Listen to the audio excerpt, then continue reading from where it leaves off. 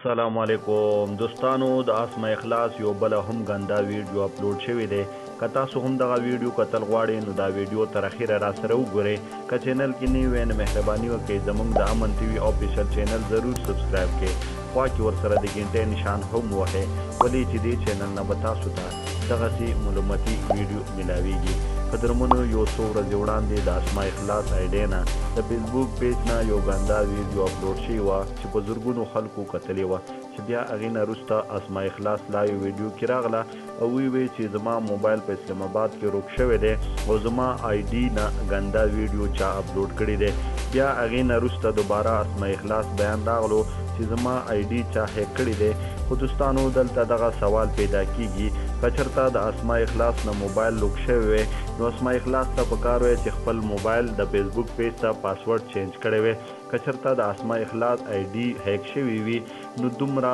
زر د چا آی ډي بیا دوباره نه ریکور کیږي دوستانو اسماء اخلاص يو ډيره تکړه بهترين کار کوي خو هميشه لپاره د غريبانو اواز جوړ شوي دی خو دلته دغه سوال پيدا کيږي که چرته اسماء اخلاص سره په موبايل کې دومره ګنده څيزونه دي چې د کتو نه دي خو بيا دغسې نه دي کول پکار پښتو مشره کې چرته هم د دغسې زموږ تورسرو ته اجازت نشته چې هغه دې بهار پردو سړو نه انټروی ګانې واخلي خو چې کله يو تورسری بهار ته راوځي نو هغه بيا دغسې کولم کوله غلط کارونو طرف ځي دوستانو دا وو موږ سره د نن ورځې د اسماء اخلاص په باره کې نوی معلومات تر بلې ويډيو پورې مو په لوی الله سپارم د خپل ځان ډير خيال ساتئ د الله په امان.